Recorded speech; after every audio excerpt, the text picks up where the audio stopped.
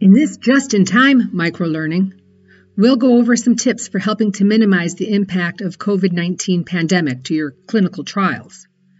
We won't cover every event, but we will discuss what to do in the most common problems due to this pandemic that you will likely have in your clinical trials. And this will help you to analyze the best approach forward for your particular case.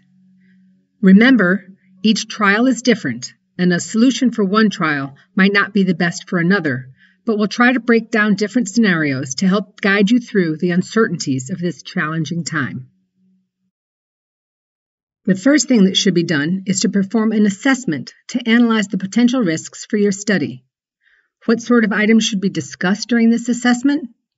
A simple approach is to follow the three P's. Discuss the impact of COVID-19 pandemic on people and patients, that is, think about the people involved in the trial, the study staff, and of course the patients or subjects participating. Think about processes or procedures. That is, what procedures could be affected by this pandemic. And product. And this has to do with the study drug and comparators and the logistics surrounding it. And if you had this discussion using this 3P approach, you're probably going to come up with at least the following five scenarios. Here are the five most likely scenarios of where COVID-19 pandemic may affect your clinical trials. First and foremost will be that due to country lockdowns, patients are hearing the news and telling themselves to stay away from hospitals, not to go to their general practitioners, and this causes the patients not to actually go outside, but also to become fearful. And so clinical trial research patients or subjects won't be allowed to come to the investigational site for their study visit.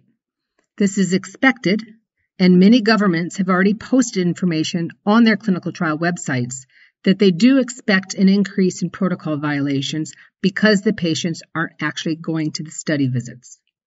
We'll discuss more on that later. Related to this, is the need to assess the safety of the patients in the study, as well as proper reporting of any subjects contracting the virus. Another item is what should be done about drug dispensation, return and accountability if the subjects are not returning to the sites. And we'll also tackle the effect on study staff and sponsor staff as well, and what can be done with the known increase in homeworking. And lastly, we'll discuss the best way to report and document the reality and how to manage it. As we've said, though, each study is unique, and therefore these suggestions won't cover every situation.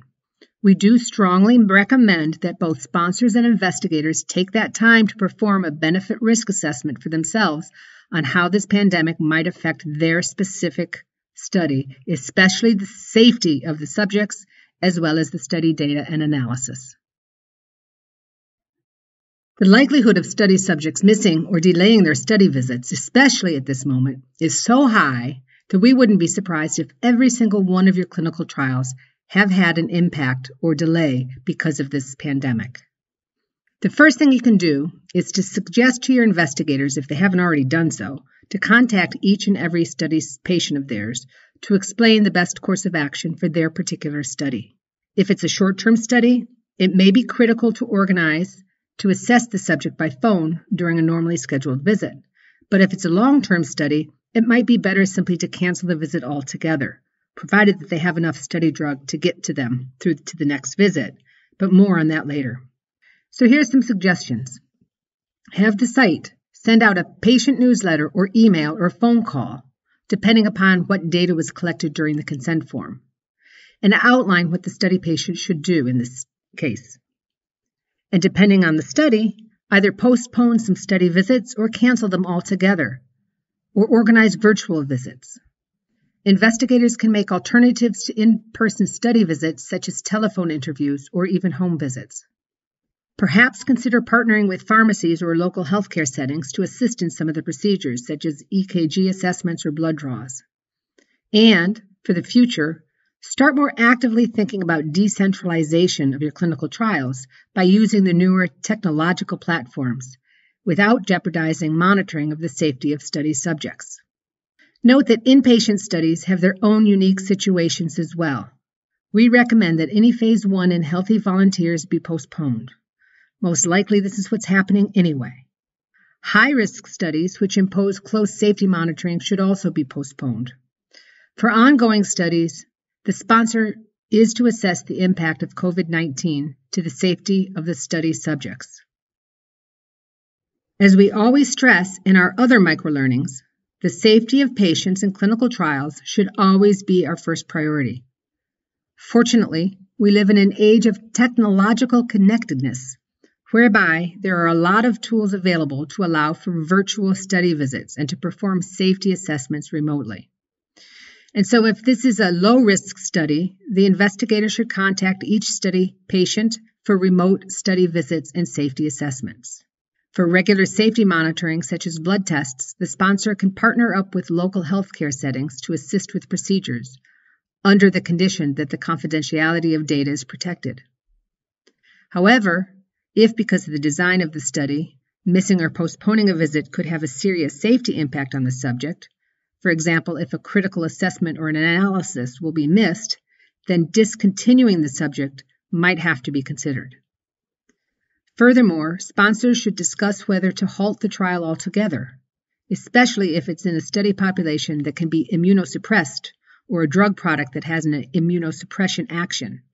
But this should only be done after a risk benefit analysis has been performed. Sponsors and investigators must consider whether the study population should be considered a high risk setting or not, as well, and may proactively delay or cancel study visits as mentioned in the previous section of this microlearning. If an investigational site wants to modify study procedures to assess for COVID 19 symptoms or test for the virus, then this constitutes a protocol amendment and should go fast tracked through their IRB or ethics committee, and the consent needs to be updated with this new procedure. If a patient or study subject cannot access the hospital, or where this is not desirable to do so, it's permitted that the medications for research are sent directly to the patient. This is the responsibility of the principal investigator. The sponsor of the clinical trial may not intervene in this process for privacy and integrity reasons. Of course, the right shipping conditions must be respected, and the process must be documented and fully traceable.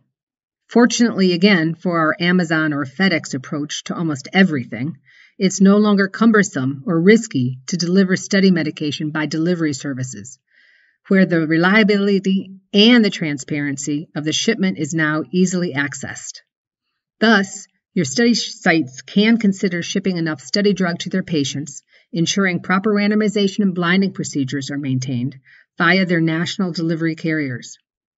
Don't forget that there are many services that ensure appropriate and well documented temperature control of packages as well. There is a lot of homeworking or teleworking being authorized right now, and many travel plans are being canceled. This means that scheduled monitoring visits are likely already being canceled, but still they must be documented that there has been contact between the investigator and sponsor.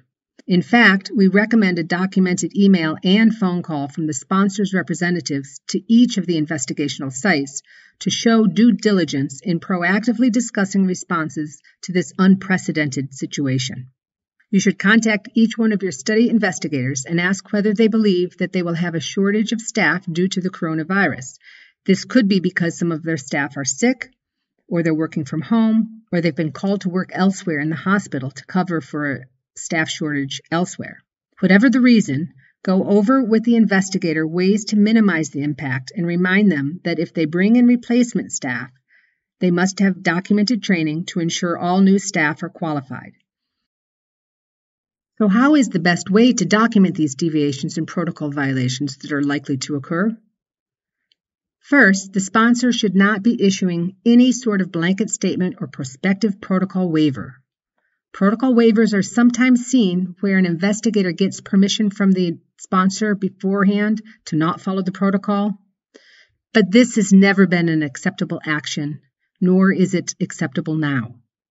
Most ethics committees will ask to be notified of any substantial protocol changes. And in the EU, whereby the sponsor notifies the central leading ethics committee, it might be helpful to inform the Central Ethics Committee the likelihood of missing visits and protocol violations. Also, don't forget to obtain consent from the patients or subjects, especially if you're using their home address to ship study medication to them. Performing the protocol assessments remotely or virtually, if not part of the protocol, will require an ethics committee approval, but most likely this can be done as an expedited review or can be implemented immediately in those cases where this change eliminates an apparent hazard for the patient. In addition, many regulatory authorities understand that due to the COVID 19 pandemic, there will likely be a significant increase in protocol violations due to subjects and patients missing trial visits. So, in such cases, they may be considered to be a serious breach and reportable.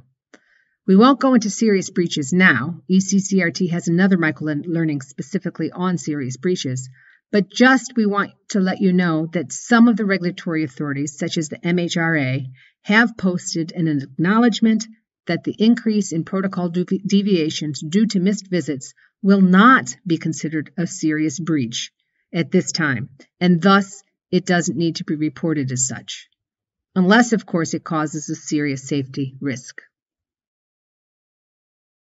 We recommend to postpone the first patient first visit of any study that is likely to begin within the next month, except, of course, those that are related to the coronavirus vaccines and assessment kits.